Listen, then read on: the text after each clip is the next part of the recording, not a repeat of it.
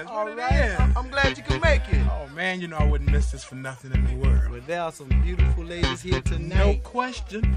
But who is